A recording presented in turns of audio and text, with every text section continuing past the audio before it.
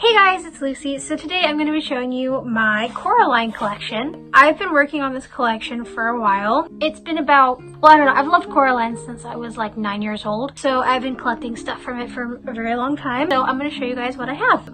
And to start this off, I'm not trying to brag about anything. I just wanted to make a video like this for a while. So yeah. Okay, so to start off with, I have the Coraline Bendy dolls. These I actually got like, oh, when was it? It was like five, four years ago. And interesting story about these, I actually, I actually owned these when I was nine years old, but then I got creeped out because, because their faces come off and this is terrifying. So this gave me a heart attack as a nine year old, because I mean, what nine year old wouldn't scream bloody murder when they saw this? I got rid of them. And I bought, um, these ones for $10 each when I was nine off of eBay. And then I got rid of them because of the faces. And now, like, you know, about five or four years ago, or little bit before that, I wanted these again because they're so cool. But they were like $500. Like, okay, this one was around close to 500, 300. This one is really expensive now. So I couldn't get them and I was so mad at myself. I'm like, why didn't I just keep them? What is wrong with me? So I had been looking for these on eBay for a good price for years and then I finally found them for, I think it may have been like 200, maybe a little less. I don't remember, but it came with these and also these little tiny figurines from the movies and they were broken and I don't remember where they are now. The eh, thing with these though, why is her foot missing? This wasn't missing to begin with. Okay. The reason these are so cheap is because, well, no, her foot wasn't missing. Anyway, her foot is missing and she's missing a hand and that's how I bought them but for some reason now her actual other foot is missing. Oops. And then this one is missing her rain boots so that's why these were so cheap but I'm really happy that I found them because I love them.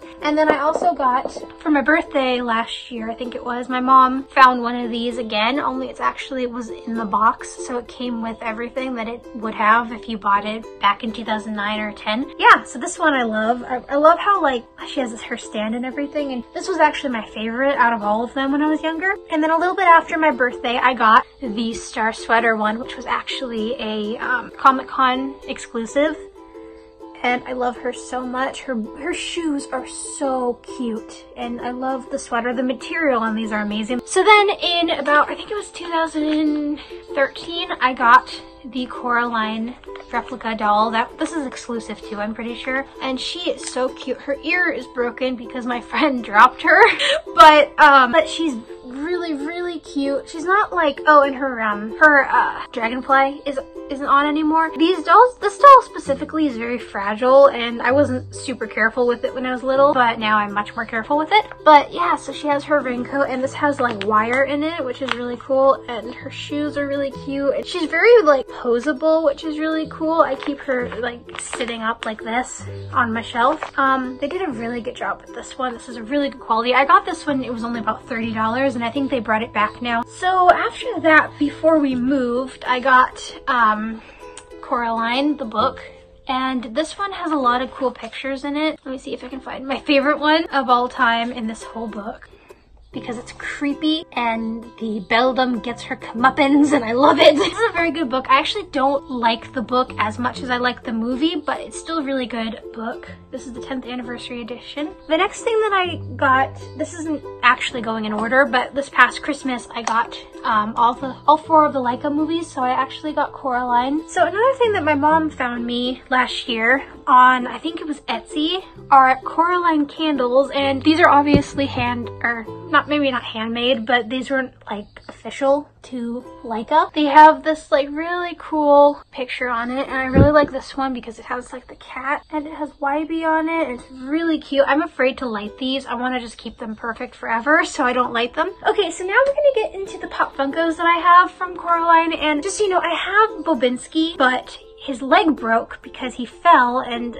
so I now I can't even find him because I have this huge box of Pop Funkos but now it seems like they're kind of gone because I was moving stuff around in my room and packing, so now they're it's missing. But I do have Bobinski. I can't find him right now, but actually the first Coraline one that I got when it like first came out, Coraline with the star sweater, and it's such a cute Pop Funko. She came with a cat too, but it's in the box with Bobinski and the mice. But this is the first Coraline Pop Funko that I got. We got it at the mall at Hot Topic. It's really cheap still, so if you want to get it, you can. The second Pop Funko I got from Coraline that my aunt got me is her with her raincoat on and it's so cute. I love this one. I think it's probably my favorite. It's just so adorable. I love it so much. Also, you know what I just remembered? Totally forgot about this. I also have, um, I also have the, oh my gosh, you can't see it.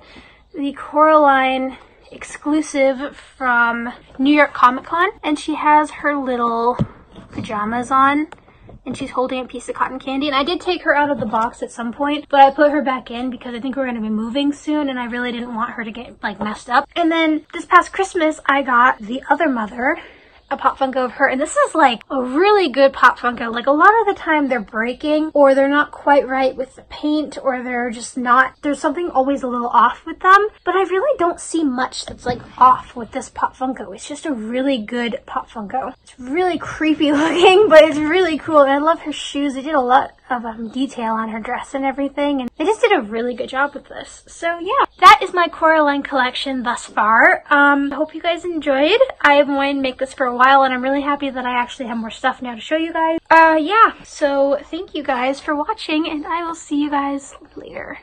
I'm totally not doing this for a thumbnail, I swear. I may be lying. Bye! I can't take them on my own, my own. I'm not the one you know, you know.